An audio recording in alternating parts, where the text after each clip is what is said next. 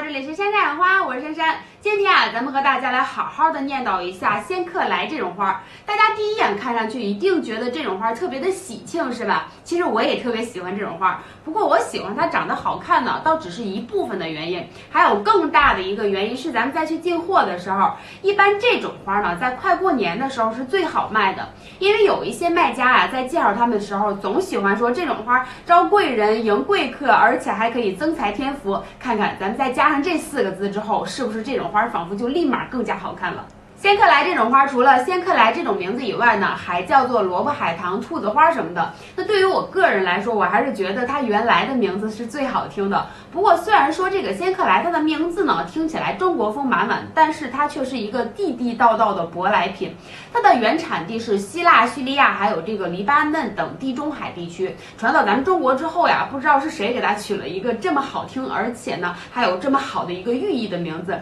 一下子在咱们的国家就火了。要知道，这个仙客来在早期的英国呢，因为猪很喜欢吃它下边的这个球茎，所以说它还曾经被英国人称为猪的食物。单听着这个名字就知道，这待遇差了十万八千里。仙客来的种类细说起来呢，也有不少。那像我手里这一盆，在里边这个形体算是比较大的了。平时我们卖的都要比这个要小，但是我这次去拿货的时候没有看到，只看到了这一种。那像这么大的一盆，三十厘米的高度，这个花冠也差差不多三十厘米的这样的大花仙客来呢，价格在十六七块左右，也可以说得上是相当亲民的一种花卉了。而且有一点不得不说的就是它的这个花期特别的长。一般从现在开始到明年的二三月份，基本上都是属于花开不断。如果说您平时觉得家里这个色彩比较单调，想要丰富一下居家的环境的话，这真的是挺不错的一个选择。平时在养仙客来的时候呢，有些资料说这个仙客来这种花呢，怕冷又怕热。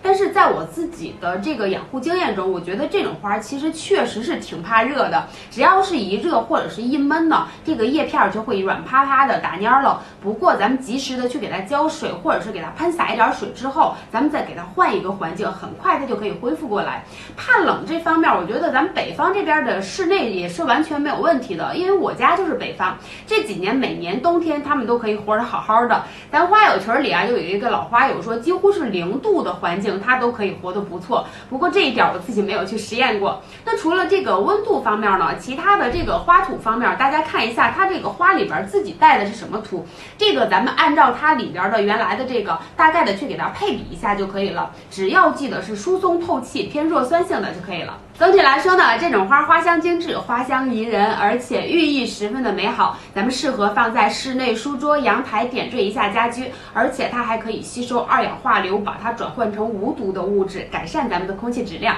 综合推荐指数呢，必须是五颗星。好了，养花其实并不难，关键在经验。我是珊珊，想要了解更多的花卉知识，记得点赞、评论、加关注，不要忘记保存最后的养护使用技巧哦。